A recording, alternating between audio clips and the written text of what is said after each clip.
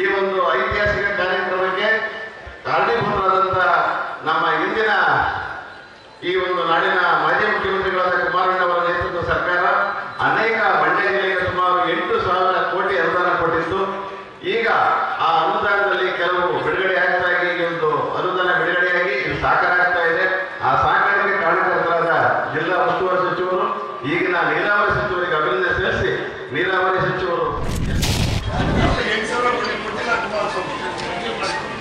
ಎಲ್ಲಿ ಎಲ್ಲ ಬಾಯಿ ಹೇಳ್ತಾ ಬಂದಿದ್ದು ಚುನಾವಣೆ ನಾನು ಈಗ ಅಂತ ಪೇಪರ್ ಅವ್ರ ಮಗನ ಚುನಾವಣೆಯಲ್ಲಿ ಹೇಳಿರೋದು ಸರ್ ಯಾಕೆ ಹೇಳ್ತೀರಿ? ಸುಳ್ಳು ಹೇಳ್ಬಾರ್ದು. ನಾಮಕ್ಕಳಿಗೂ ಕೊಟ್ಟಿದ್ದೀವಿ ನಮ್ಮ ಸರ್ಕಾರದಲ್ಲಿ ನೇರಗಳಿಗೂ ಕೊಟ್ಟಿದ್ದೀವಿ ಸರ್ ನಾಮಕ್ಕಳು ಬರ್ತಾ ಇರ್ತಾರೆ ನಾವು ಕೊಟ್ಟಿರೋದು ನಮ್ಮ ಸರ್ಕಾರ ಪ್ಲೀಸ್ ಸುಳ್ಳು ಹೇಳ್ಬೇಡಿ ಅಲ್ಲ ಎಂಟು ಸಾವಿರ ಕೋಟಿ ಕೊಟ್ಟಿರೋದು ಇಬ್ಬರು ಪೇಪರ್ ಅನೌನ್ಸ್ಮೆಂಟ್ ಮಗನ ಚುನಾವಣೆ ಒಂದು ರೂಪಾಯಿ ಬಿಡುಗಡೆ ಆಗಿದೆ